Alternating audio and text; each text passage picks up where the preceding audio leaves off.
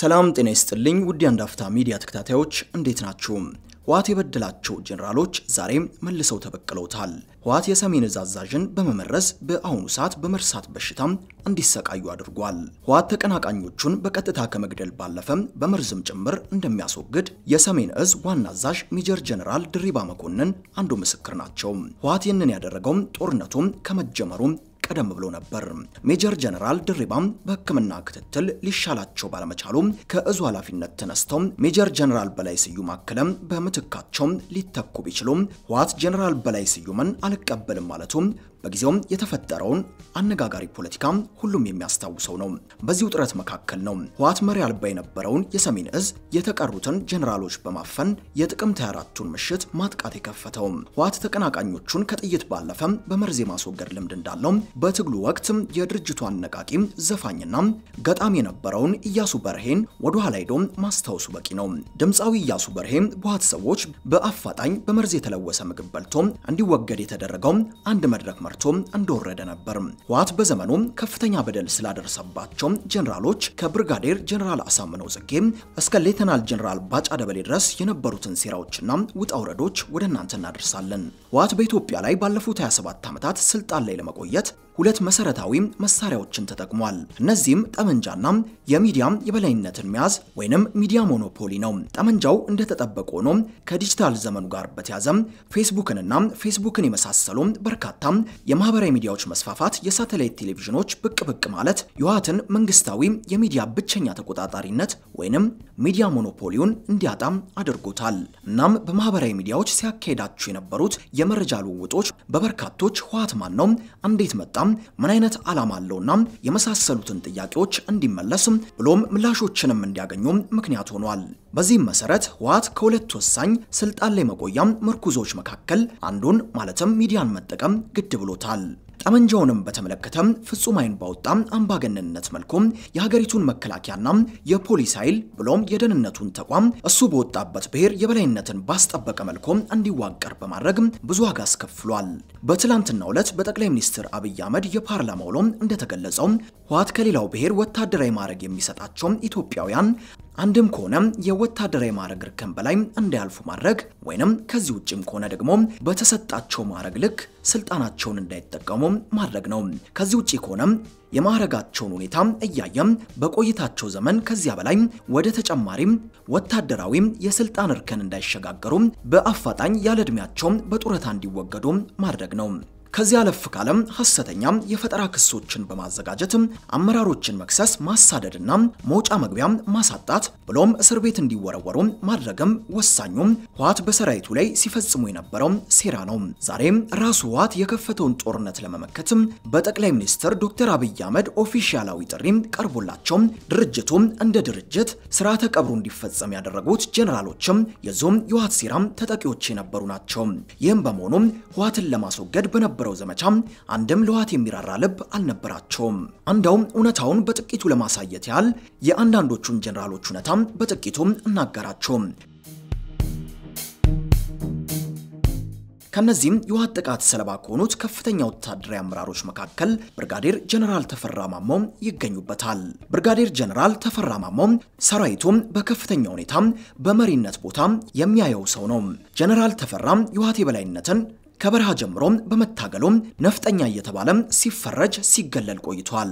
ብርጋዴር ጀነራል ተፈራና የህወሓት አመራሮች ፊት ለፊት የተላተሙት ህወሓት በጦር ውስጥ ጥቃት ሊያደርስብኝ ይችላሉ ብሎም የጠረጠራቸውን በርካታ የአማራ ብሔር ተወላጅ ወታደሮች አንድ ባንድ እየመነጠረ ማስወገድ ሲጀምር ነው። በጊዜውም የወታደሮቹም በገፍ መባረር፣ የብቃት ማነስ፣ ሰርጎ ገብነት፣ የዲሲፕሊን ችግርና የመሳሰሉት ምክንያቶች ይሰጡት እንጂ ዋናው ነጥብ ማንነትን መሰረት ያደረገ ጽዳት ነበር። ከ1998 ጀምሮ አማሮች ከሰራዊቱ በማንነታቸው ሰበብ እየተፈለገ በዲሲፕሊን እየተባሉ ሲባረሩ ጀነራል ተፈራ በዲሲፕሊን አይደለም ብሎ ተከራክሯል። ከሰራዊቱ ለተባረሩት የድጋፍ ደብዳቤ በመጻፍ በግምገማም ወቅት ስለ ህወሓት ጀነራሎች ሙስና በመናገሩ ጥርሱ ውስጥ ገብቷል። የአማራ ተወላጅ የሆኑ የሰራዊቱ አባላት ጀነራል ተፈራ ከጀነራል ኃይሌ ጥላውን ጋር ሆኖ መለስ ዜናዊን ለማስገደል እያሴረ ነው ብለው በሐሰት እንዲመሰክሩበት ተገደው በሐሰት አንመሰክርም በማለታቸው ከስር ተርፎ ነበር። በመጨረሻም በመፈንቅለ መንግስት ሙከራ ክስም ዕድሜ ልክ ተፈርዶበት ዘጠኝ ዓመት ታስሮ ተፈቷል። ብርጋዴር ጀነራል ተፈራ ማሞም ህወሓት በሰሜን ዕዝ ላይ ጥቃት ሰንዝሮ ጦርነቱም አንድ ብሎ ሲጀምር ህወሓትን መበቀል እፈልጋለሁ በማለትም በግልጽ ነበር የተናገረው። ብርጋዴር ጀነራል ተፈራም የሰሜን ዕዝ ምክትል አዛዥ ነበርኩም፣ ይህ ዕዝ የኢትዮጵያ ልጆች ስብስብ ነው። ሆኖም ህወሓት መሳሪያ ለመንጠቅ ሲል ልጆቹን ጨፈጨፋቸው። ነገም የተጨፈጨፉት ልጆች ስም ዝርዝር ሲገለጽ ብዙም ቁጣ ይቀሰቀሳል። አሁን ከአማራ ክልል አመራሮች ጋር ተነጋግሬያለሁ። የምፈልገው የልዩ ኃይል መሪ መሆን ነው። የጀመርኩትን ስራም ማጠናቀቅ እፈልጋለሁ ሆኖም በ official ጥሪ አልተደረገልኝም ሲል ነበር የተናገረው።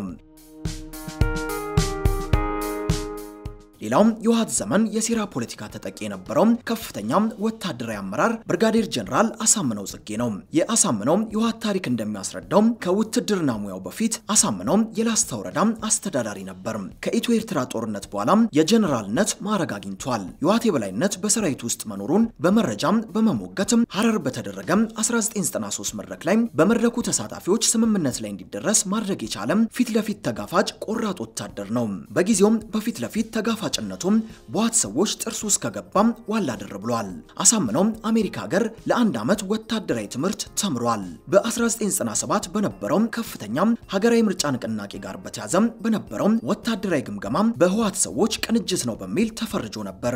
በዚህም ብዙ ውጣ ውረድ ውስጥ አልፏል። በዚህ ውጣ ውረድ ውስጥም ሆኖ አሳምነው በጊዜው መከላከያ ዩኒቨርሲቲን በብቃት መርቷል። አሳምነው ወደ መከላከያ ዩኒቨርሲቲ የሚገቡ ተማሪዎች ወይም ወታደሮች በፈተና እንዲገቡ በማድረጉም ጥርሱ ውስጥ ገብቷል። ጀነራል አሳምነው ጽጌ በመጨረሻም ከሰራዊቱ እንዲባረር ተደርጓል። ከሰራዊቱ ሲባረርም ማዕረጉን በመንጠቅ ነበር።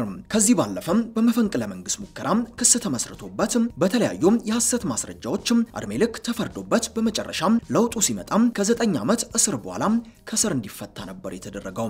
አሳምነው ከስር ከተፈታ በኋላ በተለይ በጉልበት ወደ ትግራይ ክልል እንዲካለሉ ተደርጓል የተባሉትን ወልቃይትንና ራያን ለማስመለስ ብሎም ህወሓትን እስከ መጨረሻው ለመበቀል ጥርሱን ነክሶ የተነሳ ሰው ነበር።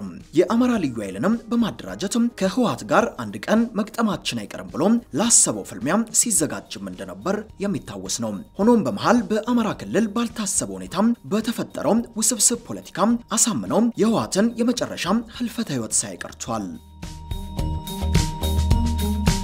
ሌላኛውም አሁን የህወሓትን ህልፈተ ህይወት በማቀላጠፉ በኩል ሰፊ ሚና ከተጫወቱት ከፍተኛ ወታደራዊ አመራሮች መካከል አንደኛው ሌተናል ጀነራል አበባው ታደሰም ተጠቃሽ ነው። ሌተናል ጀነራል አበባው ታደሰም የማዕከላዊ ዕዝ አዛዥ ሆኖ አገልግሏል። በወታደራዊ አሰራር በማዕረጉ ከጀነራል ሳሞራ ቀጥሎ senior በመሆኑ ቀጣዩ ኢታማዦር ሹም ሊሆን ይችላል የሚሉ ግምቶችም ነበሩ። ጀነራል አበባው የጀነራልነት ማዕረግን ሲያገኝ በእድሜም ትንሹ ጀነራል እየተባለ ይጠራም ነበር። ፈጣን አእምሮ አለው። መልከ መልካም ና ሩሩ ነው። ከሚመራቸውም የበታች ወታደራዊ ሹማምንቶችና ተራ ወታደሮች ጋር በቀላሉ መግባባት የሚችል ሰው ነው። በመሆኑም ሌተናል በመሆኑም ሌተናል ጀነራል በተራው ወታደር ሳይቀር በእጅጉም የሚወደድ ነው። አበባው በኢትዮ ኤርትራ ጦርነት ወቅት ባድመ ግንባር 108ኛ ጦርን እየመራ ጀብድ ፈጽሟል። ሌተናል ጀነራል አበባው በመከላከያ የህወሓት ጉዞ ፈተና እየገጠሙ የመጣው የህወሓትን የበላይነት እየተቃወመ በመምጣቱ ነው።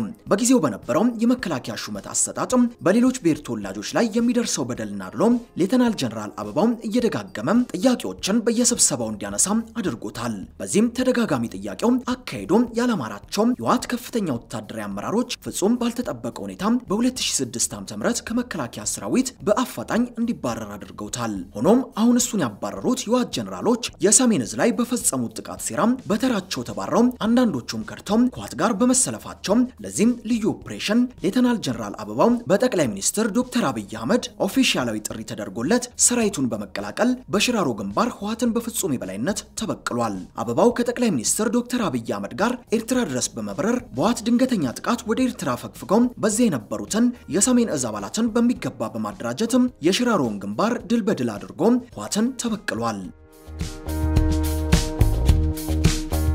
ሌተናል ጀነራል ባጫ ደበሌም ሌላኛው በዚህ ጦርነት ጀብዱ የሰሩ እንደዚሁም በህወሓት ዘመን ከፍተኛ የሆነ በደል የተፈጸመባቸው ከፍተኛ ወታደራዊ ባለሙያ ናቸው። ሌተናል ጀነራል ባጫ ደበሌም በጠቅላይ ሚኒስትሩ ኦፊሻላዊ ጥሪ ተደርጎላቸው እንደገቡ በመጀመሪያም በቀጥታ የበረሩት ወደ ኤርትራ ነበር። በዚያም የነበረውን የሰሜን ሰራዊት ሁኔታ ከገመገሙ በኋላ አጠቃላይ ሁኔታውን ከሀስከፐም ዝርዝር ጉዳዩን ለኢትዮጵያ ህዝብ በደንብ በማስረዳት ጭምር ህዝቡም ከሰራዊቱ ጎን እንዲሰለፍ ማድረግ ችሏል።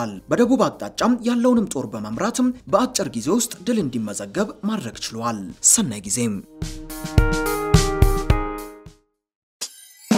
የተለያዩ የኢትዮጵያ ዜናዎችን፣ ትኩስ መረጃዎችን፣ የመዝናኛ ፕሮግራሞችንና ልዩ ትንታኔዎችን ለማግኘት ሰብስክራይብ ያድርጉን። እናመሰግናለን። አንድ አፍታ ሚዲያ